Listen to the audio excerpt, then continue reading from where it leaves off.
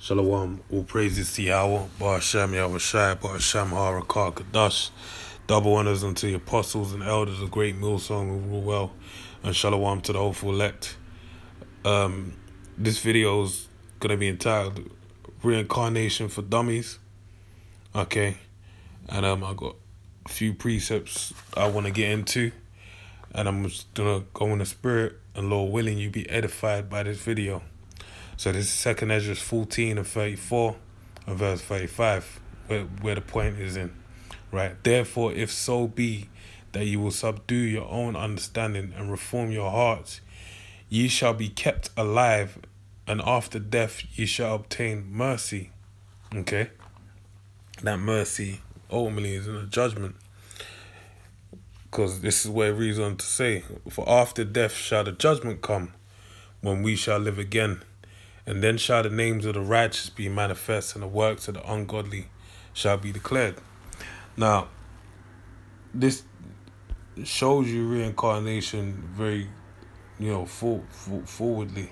I'm going to read it again, I'm going to break it down by point by point um, for, for edification. So this is 2nd Ezra 14, 35. For after death shall the judgment come. So it tells you in the word in Hebrews 9:27 it's appointed unto men once to die then after the judgment. So you have one one life to live within the body that you're born in all right? Then after that body whatever you sold in this body when it when you stand before the Lord Yahweh Bashem Yahushai um Harakar Kadash you'll basically have a judgment read out to you okay because um you know as it in the book of Ecclesiastes it plainly says Ecclesiastes 12 and 7 that the dust will return unto the earth and the spirit return unto Yahweh who gave it all right? Because the most high is the one that gave you your spirit all right? And he's the father of spirits.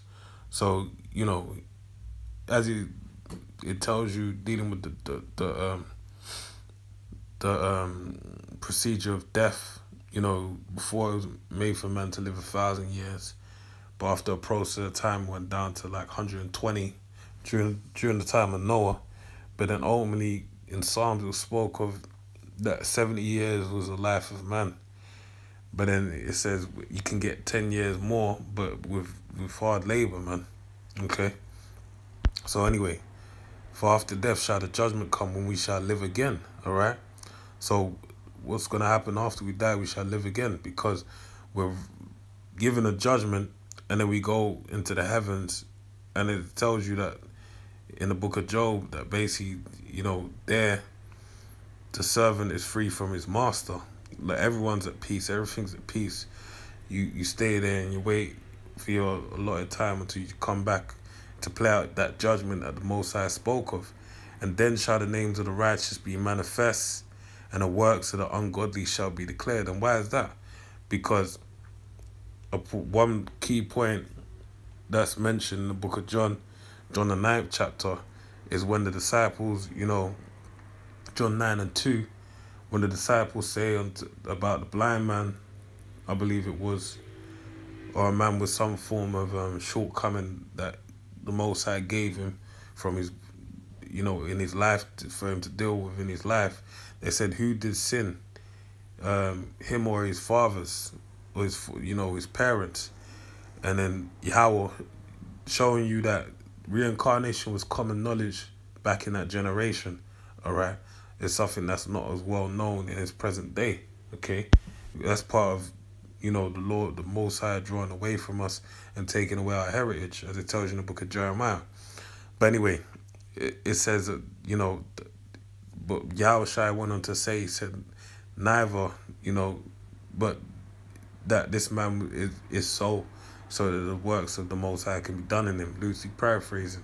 So basically, that's that was, you know, that shows you that there was a clear understanding of reincarnation and that they understood the, the um, the, what's the word I'm looking for?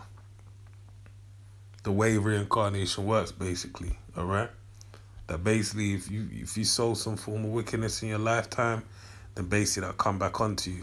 But if you sow some righteousness will come back onto you. So anyway, next precept, okay? This is Exodus twenty and five, and it reads, Thou shalt not bow down thyself to them nor serve them. Alright, now this is the point. For I the Lord Yahweh, thy power, am a jealous power, visiting the iniquity of the fathers upon the children unto the third and fourth generation of them that hate me. All right. Now the key point is that the most the Lord Yahweh said that He will visit the iniquity of the fathers unto the third and fourth generation. Okay, because it tells you in the book of Ezekiel eighteen and twenty that the son shall not inherit the in, um shall not inherit uh, or bear the iniquity of the father, neither shall the father bear the iniquity of the son. Okay? And why is that? Because to the third and fourth generation is is when you are reincarnated, you come back in your lot. Okay? And that's why think when you think again, it's shown by the the the, the verse Isaiah fourteen twenty one, prepare slaughter for his for for his children, for the iniquity of their father, all right, which is talking about Esau. But why is it saying that? It's saying that because they are their forefathers in reincarnation. They are those sons and, and, and daughters that are coming back in the third and fourth generation. It just so happens that in every third, every generation between them, they all committed the same acts of wickedness. And that's why it's allotted to them for that, that, that judgment, the, the preparation of slaughter. But that's the point, okay? For the Lord for I am the Lord thy power, I am a jealous power, visiting the iniquity of the fathers upon the children um, unto the third and fourth generation of them that hate me, right? Because they basically come back in their portion in a lot, as is always appointed from, from day one. This is the fundamentals of reincarnation. It's, it's very straightforward, but really and truly, the Lord Yahweh Bashem El Shai Basham Harakar Kadash has to be dealing with you. Quadash, should I say. Alright? So now this is, um, I'm going to get straight to the point. This is First Corinthians 14 and 32. And it reads, And the spirits of the prophets are subject to the prophets. Now here's the key thing, dealing with the, the fundamentals of reincarnation. There is no remembrance of former things, okay? That's the key point you now and then even it says there's no remembrance of former things, neither remembrance of things to come. And the reason why that's said is because why? Is is you don't remember what happened in your past life and you don't remember the judgment that was told to you going back to second Ezra 14 how the Lord gives you a judgment and then you wait there to come back in your third and fourth generation in your allotted time, your lot, and then to live out your life, you're not gonna, you don't have a, a bearing of, of what's gonna happen in a lifetime. You just have to live out that life, fulfill the judgment, and do what you gotta do because man's goings are not, man's goings of the Lord basically. How then can a man understand his own way? The Lord, this is the, the Most High show. As the word theater goes back to the word theos, okay? Which basically, you know, the world is a stage and the Most High is a director, the writer. He he works backstage upon everything. Really, he's he's got everything. The script, he wrote it, okay, and he's sitting back there, and he got his angels basically working backstage, doing every setting up the lighting and all that kind of business to execute the script um, to a T, basically. So I'll read this again. And the spirits of the prophets are subject to the prophets. All right, as I said, there's no remembrance of former things, neither remembrance of things to come. All right, because that's that's how the Most High set up. All right, and that's the key. And then even tells you in um, Ecclesiastes six and ten that that that, that the thing um, is no new thing under the sun. All right, that which has been is that which shall be. And it tells you in the book of Ecclesiastes 6 and 10, that which has been and that which shall be is man. All right. So it's talking about men. And a good, a key example of this is in the book of John 1 and 21, when they inquired um,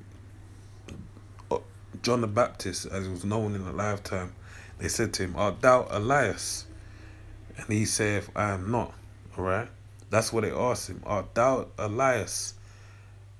And he saith, I am not. Why did he but but he was Elias.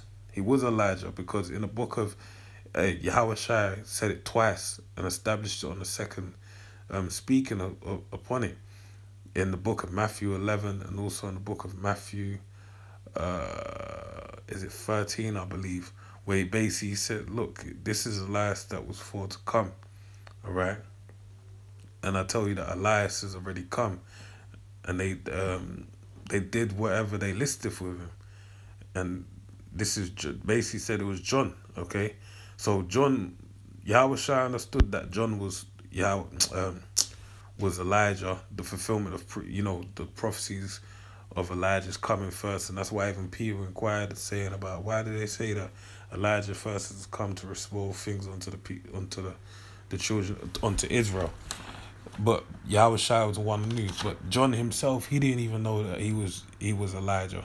Okay, that's why he answered in a way was that he was going off big time because he went not big time in a sense like he's wicked. He just didn't know. He that's not an answer that he had to. That's not a question that he had to answer to, because it it was in in in tune with Ecclesiastes the first chapter. All right, there's no remembrance of of of things to come. All right. So that's a real basic understanding, the overview of reincarnation. I pray we're edified. Shalom.